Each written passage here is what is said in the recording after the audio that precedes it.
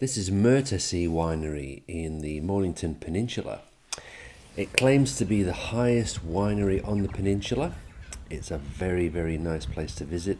Beautiful settings, tables and chairs laid out on a beautiful uh, forecourt for people to taste their wines. It's set on three and a half acres, producing mainly Chardonnay and Pinot Noir with some rosé thrown in. John and Julie Trueman are the couple that run this place. Uh, Julie is the winemaker and has been since they acquired the vineyard in 1984.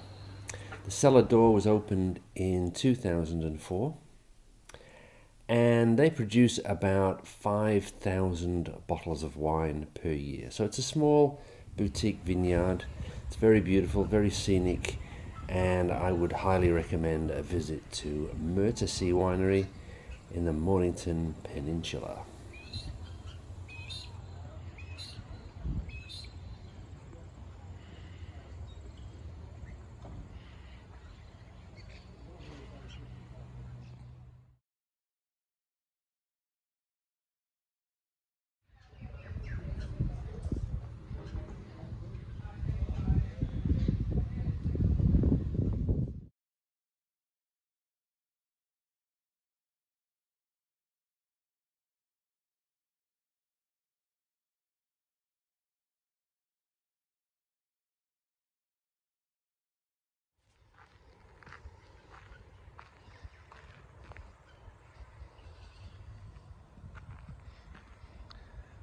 So this is Myrtaceae Winery in the uh, in the Mornington Peninsula.